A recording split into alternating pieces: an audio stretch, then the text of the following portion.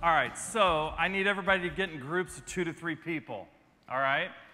I'm going to give you a series of four back to back quizzes that are intended to measure your psychological health and discernment. Okay? Are we ready? So I need you to bunch in groups of two to three. Uh, I'm Brian Jones, by the way, pastor here at the church. Welcome. Um, uh, let's go ahead and let's jump in. First quiz is this test number one Which is the correct way to cook a marshmallow when you're making s'mores? Okay, you know what s'mores are? Yeah, come on, this is everyone should know what s'mores are, right? I have provided a picture that will help you, okay? Here's the picture. I want you to get together as a group and you're going to decide which number is the right number.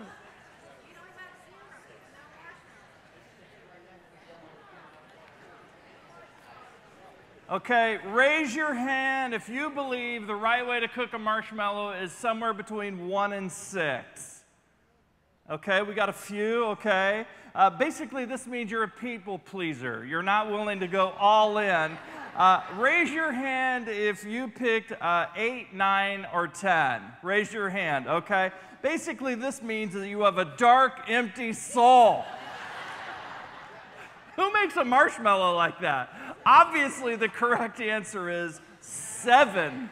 Seven. Who said seven? Yes.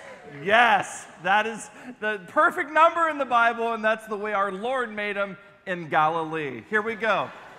Test number two What color is the shirt I'm wearing? Get in your groups. Okay? Now, um, raise your hand if you think it's salmon. Raise your hand if you think it's yellow or orange. Okay, now I just want to say, you remember a few years ago there was that blue dress illusion? It, it plays tricks on your eyes, and this is one of those situations where the, the shirt and the, and the light, everything is playing a trick on your eyes. Okay, so if you picked um, yellow or orange, you have a high probability of being a serial killer. Um, if you pick salmon, that just means, like Jesus, you like to sit close to the front and you're not looking through the, the, the projector. There we go. Okay. Third one which staff member is going to age the best? Okay? I think you know where I'm going with this. I want you to be honest and loving and kind. Now, this past week, social media was filled with pictures of people who used a face app to age themselves with the help of AI to project out 30 years into the future. Have you seen this app? Basically, you snap a picture of yourself, and then the AI feature automatically ages you 30 years, and then the Russians have all of your personal information. So, so here's the test. Um, I'm going to show you four staff members, including me, and I want you to decide who, like fine wine, is going, is going to age the best. Here we go. Here's the first one. This is Frank Chaparino in 2019. All right? This is Frank Chaparino in 2049. Not bad, right? But hey, you know what? He's already bald, okay? So that's not fair at all. Uh, here's Dan Reichel in 2019. Here's Dan Reichel with 16 cups of coffee a day for 30 years. Um, all right, the next staff member here is Eric Sumter in 2019. All right, uh, here is Eric Sumter headlining the Copacabana 30 years from now. All right, so you sure you don't want to see pictures of me, do you? No, no, you don't. Okay, so so here's a picture that Sumter took of me outside Kumo, Japanese, uh, uh, last year, um, and then they had this feature where you could add a hipster beard. And so here I am with a hipster beard. Can I pull that off? Okay, all right. So here, so they also had a feature where you could put bangs on you. So tell me, can I pull that off? No? I can do the beard, but I can't. No bangs? No bangs. It would take a miracle, actually, to have those kinds of bangs. Okay, so do you really want to see a picture of me 30 years from now? Okay, here it is. Right there. So, all right. So, like fine wine, who's going to age the best, right? Okay. Test number four, and this is more personal. In 30 years, spiritually speaking, will you be more committed or less committed? Okay? Now, I want you to actually get with your group, and I, the answer that I want you to give 30 years from now, am I going to be more committed spiritually, less committed spiritually, or about the same? Go. I'm going to give you about 15 seconds.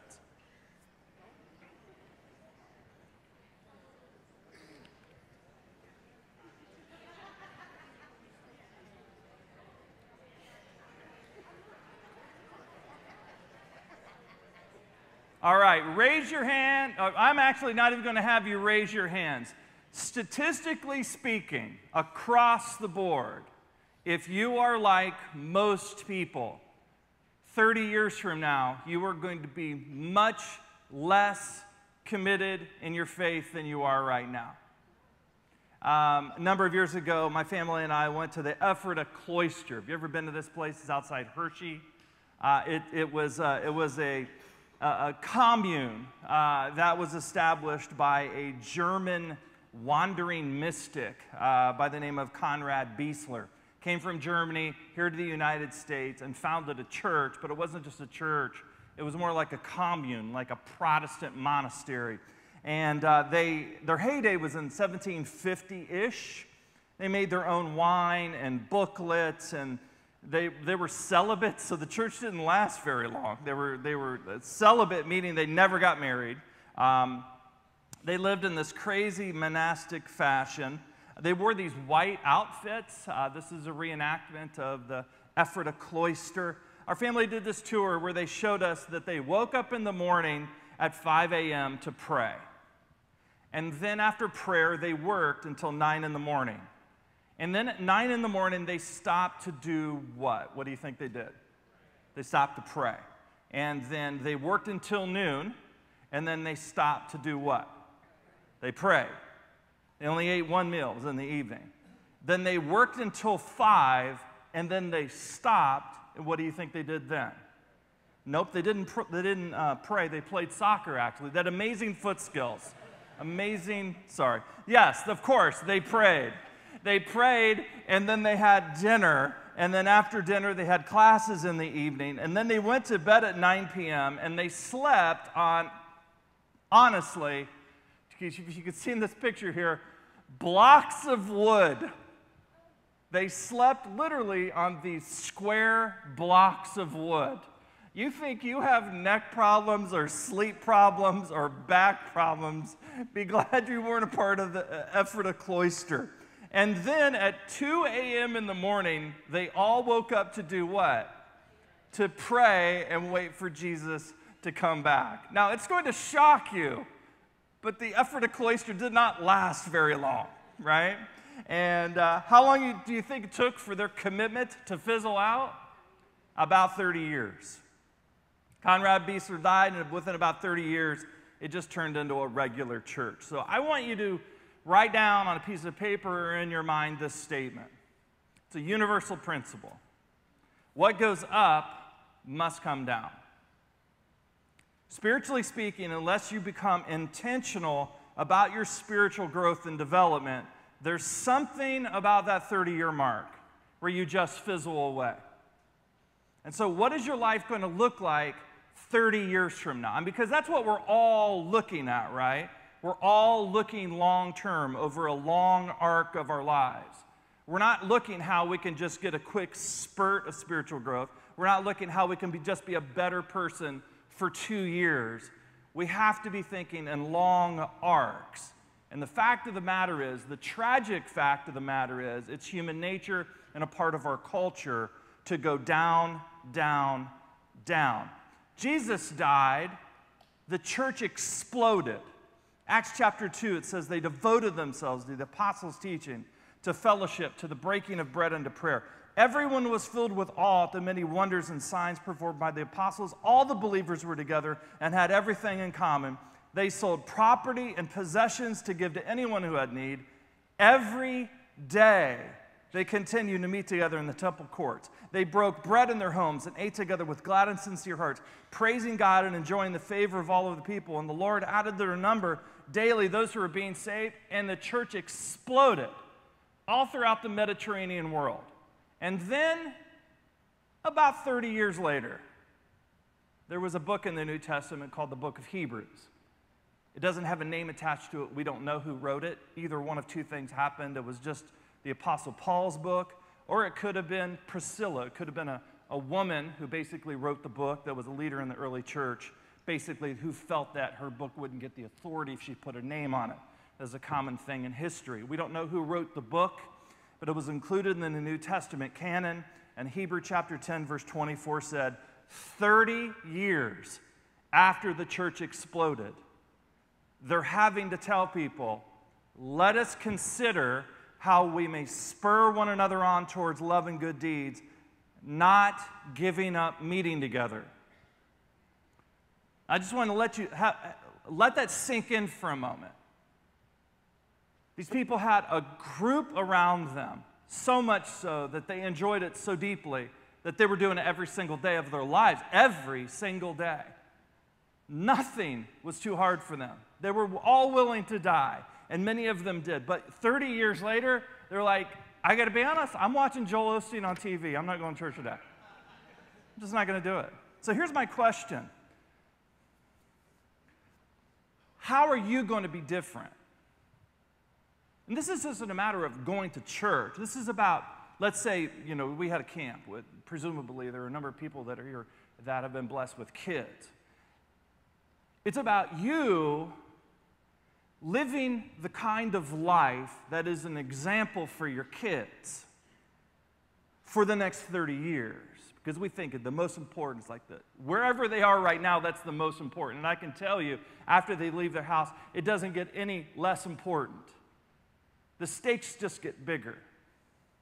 So, why is it that we can be so on fire one minute and the next minute we're like, yeah, you know, why is it we can have so many people here one Sunday at CCV and the next Sunday it's like, eh. Or you, at kids' camp, you feel like it's heaven and on earth, and now all you can do is muster up the eh to go to church. It's human nature, it's a part of our culture. As, as disciples of Jesus, we also believe that the evil one is involved in that. And so I've been thinking about praying about this, and I remembered this old theory from economics class. It's called the sigmoid curve. Economists use the sigmoid curve basically as a way to help people understand movements uh, within organizations. And basically, at some point, every movement starts and then it flounders a bit. And at that point, it either dies or it takes off. Every idea or movement will die at a low point or it's going to take off. You, personally, your walk with Christ as a disciple of Jesus. It will start out, yeah, and it will peter a little bit. And at that point, at that low point, you have a decision to make. Am I really going to do this even when it's hard? Am I going to do this when I'm uncomfortable? Am I going to do this when it costs me something? Can I see 30 years out the long term benefit of having my character slowly transformed not just for my benefit, but for the, for the benefit of the people that I'm close to. Here, so the problem is you just can't sustain energy indefinitely because what goes up must come down. Remember Krispy Kreme when no one heard of Krispy Kremes? Remember that? Was anybody around when Krispy Kremes weren't Krispy Kremes? Like, what are we doing? Oh, we're getting Krispy Kremes. We're on vacation. We're getting Krispy Kremes, 11 o'clock at night. What are we doing? We're getting Krispy Kremes. I just remember when there wasn't even a Krispy Kreme. There was a Krispy Kreme, but no one knew it as Krispy Kreme. And then there was the massive Krispy Kreme phase. Now, who goes to Krispy Kremes anymore? Raise your hand. Something wrong with you, and you, and you, and you, right? Starbucks. No one ever heard of this little company in Seattle called Starbucks. And then, bam, it took off, and then it went down. Did it go back up?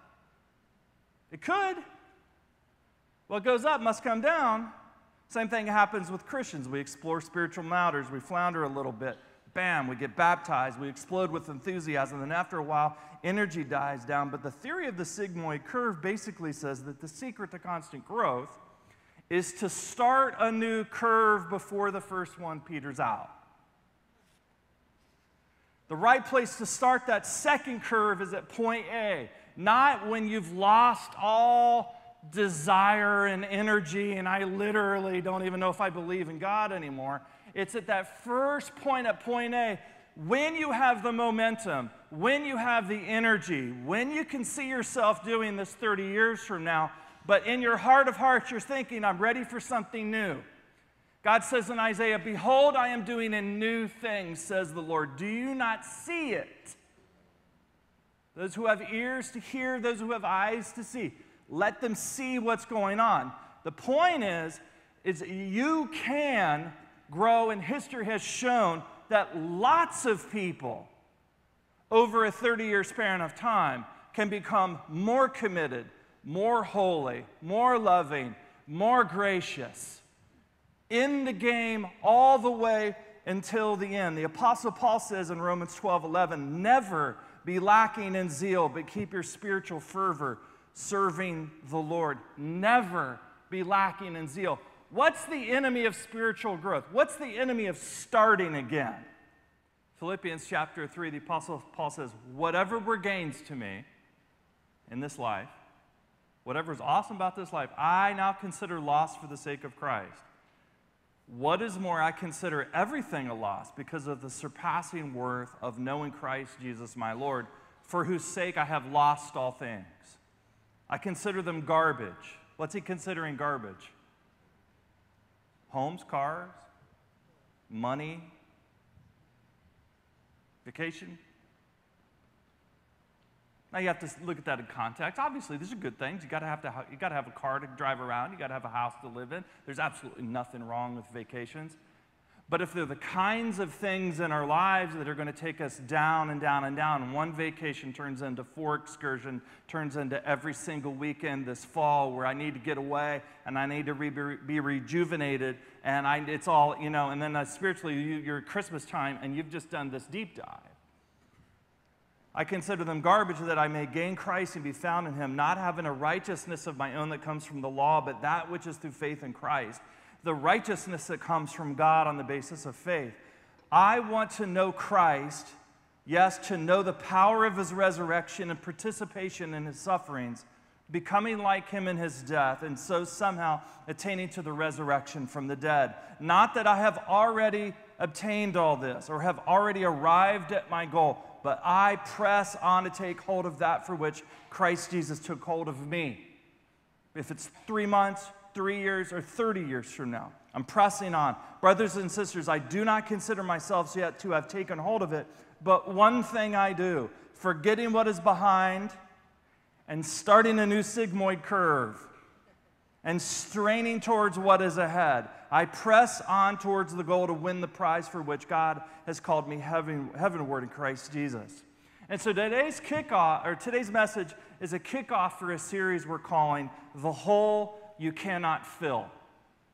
If I was to describe the 422 corridor, it would be a bunch of really nice, really wonderful people who have a massive gaping hole in their soul where they're trying to fill that hole with stuff, with things other than God. It's going to be a series about that. The philosopher Blaise Pascal said, that inside of us we have what, is, what he calls the infinite abyss. Meaning, if it was a hole that was like 30 feet long, we could find something that was 30 feet long and stick it in that hole. But this abyss that's inside of us is infinite.